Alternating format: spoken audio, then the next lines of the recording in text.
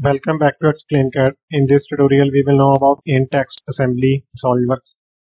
How to create a part in in-text assembly. In-text assembly it means a component which we create in assembly that will be linked with some other parts in so let's start. I open new assembly environment. I will insert some parts.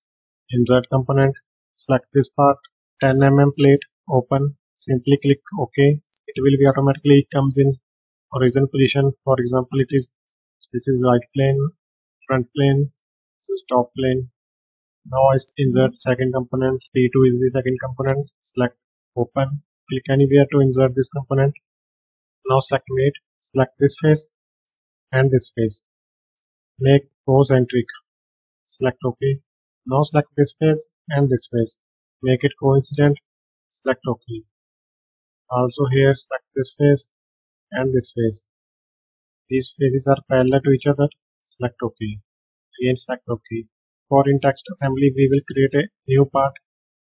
For that, here is the option Insert Component. Click on this icon. The second option, I select new part. After selecting new part, we have to select the surface. I select this surface. Now we create a sketch. I select circle command. Draw one circle here. Smart dimension 6 mm diameter of the circle. Right click select option. Come back from the sketch. Go to features. Extruded boss face feature. Now we select this part which we create now.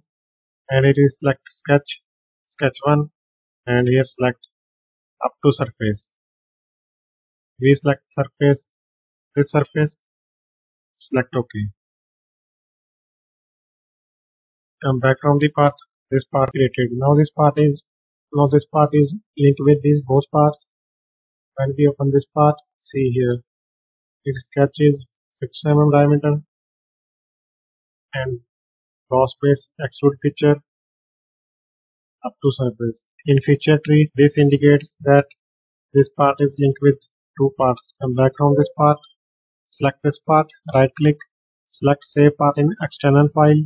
By clicking here you can rename this part. I type here 6 mm rod. From here you can select the path where you want to save it. Select ok. Select this face press and hold control button and select this face. This distance is 95 mm when we select this part open part and we increase the this distance of extrude boss face feature edit feature. Now we edit this part 300 mm select OK. Again select OK. Exit this part, save part, select yes. Now this part will be automatically changed according to this part. This is the in-text feature in assemblies. Thank you so much for watching. Please subscribe, explain CAD.